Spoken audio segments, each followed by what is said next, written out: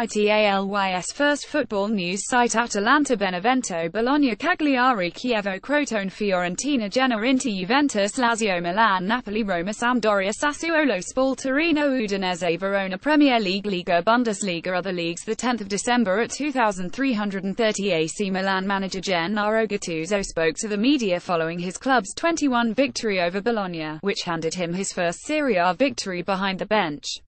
On the match Bologna put us in difficulty, we have to improve defensively. I thank the guys for the victory. The road is still long but I like the performance. On his energy level, one I'm always in tension even when I play with my son. I have played a lot with this shirt. It is an honor to lead this team.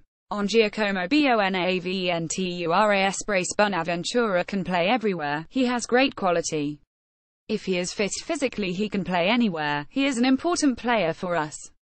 I have always said that he is one of the best Italian midfielders. He works so hard and can give us a big hand. On his predecessor, Vincenzo Montella I have great respect for Montella. He left many things like ball possession and the fact of not kicking the ball away, but for me we also need play with more intensity. On Milan's place in Serie A the league standings don't look so good, comments powered by Disqus.